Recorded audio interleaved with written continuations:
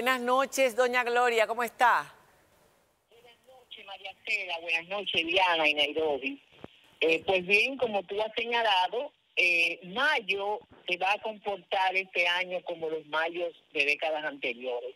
Vamos a tener un mayo lluvioso, esa es la perspectiva que hay. Ya hoy entramos en lo que se denomina el periodo convectivo. O sea, estos meses de mayo, junio, julio, eh, se esperan aguaceros en horas de la tarde, primeras horas de la noche. En el día de hoy específicamente tenemos una vaguada en varios niveles de la troposfera y van a seguir estos aguaceros que, como también señalaba, abril fue lluvioso y va a continuar esta racha de aguaceros durante todos estos días, eh, primeros días del mes de mayo. Eh, hay varias alertas y avisos meteorológicos, desde luego que el Centro de Operaciones de Emergencia lo convierte en colores, hay alerta amarilla para varias provincias, como es Puerto Plata, Santiago, Monseñor Noel, La Vega, Duarte, María Trinidad Sánchez, Ponte Plata, Samaná, Sánchez Ramírez. En esta provincia está lloviendo en este momento, está lloviendo fuerte con tormentas eléctricas. Y en las provincias que están en alerta verde, se espera que las lluvias también se presenten en el día de mañana jueves, el viernes, todavía el sábado y principio de semana laboral, eh, vamos a tener lluvias. O sea que vamos a tener un mayo lluvioso en sentido general. Doña Esa es la condición meteorológica. Sí, dime, María Cera. Eh, ¿Se sabe qué milimetraje de lluvia estaríamos esperando en esas provincias que están bajo alerta con las lluvias de estos días? ¿Qué ha acumulado? Fíjate, eh, entre 40 y 24 y 48 horas en esas provincias que están más hacia el norte y noreste y centro del país, se esperan acumulados entre 70 y 120 milímetros. Y para 72 horas podrían estar entre 100 y 125. Y en puntos aislados podrían llegar hasta 200 milímetros. O sea que esa es la situación meteorológica que tenemos. Y como ustedes señalaban, por eso las autoridades, los organismos de protección civil están muy atentos porque ya tenemos suelo saturado. Llovió mucho en abril, la mayoría de las estaciones diseminadas en toda la geografía nacional tuvieron valores por encima de lo normal en el mes de abril y mayo ha comenzado con esa tendencia de que van a seguir los aguaceros. Ingeniera, cuando uno ve esta información que salió en el día de hoy, que estaban desfogando de manera preventiva Gloria, ¿está escuchando la presa, Diana, un segundito. ¿Me escucha, ingeniero? La oigo muy lejos. Ok. Eh, eh, quería preguntarle, porque hoy estuvieron desfogando la presa de Taveras de manera preventiva y uno recuerda el, desastre, el desastre después de la tormenta Olga. Esto no se parece en nada a ese episodio. Diana, un momentito. Vamos a repetirle la Ella no te está escuchando. Nosotras vamos a repetir tu pregunta, porque ella no te está escuchando, no entiendo por qué.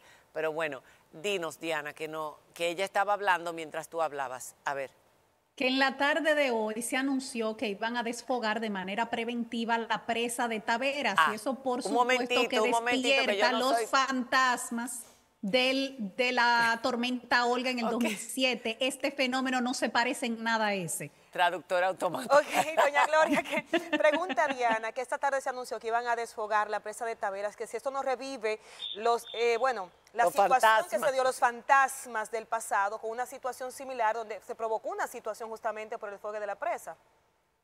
Es importante explicar, Nairobi, no es que la van a desfogar, es que la van a tratar de mantener en una cota muy bien. Para que pueda recibir más. Cuando comience la temporada ciclónica. Exacto. Como ha llovido mucho en la cordillera central, que es donde los ríos que proveen eh, a los embalses de estas presas, eh, está tratando de que no sobrepase el nivel en el que tiene que estar para cuando inicie la temporada ciclónica.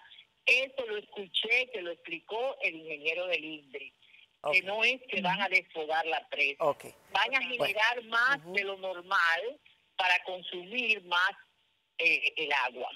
Bueno, pues muchísimas gracias, doña Gloria. Esperemos que las lluvias, que, la, que las personas primero entren en conciencia, los que están sobre todo en lugares más peligrosos, eh, que tienen peligro de inundación cerca de cañadas, ríos, porque si, como dice usted, en todas esas zonas eh, que están en todas esas provincias en amarillo, en, sobre todo en el Cibao y en Puerto Plata, allá arriba también, ¿verdad? Estoy viendo este, María Trinidad Sánchez, decía usted también, están cayendo rayos, truenos y centellas, entonces hay que, hay que preocuparse. Mañana Santo Domingo y el resto de provincias que están en verde, pues van a recibir lluvias, es lo que ha dicho doña Gloria esta noche. Seguimos en contacto con ella a lo largo de esta temporada convectiva. La palabra me llamó la atención, convectiva.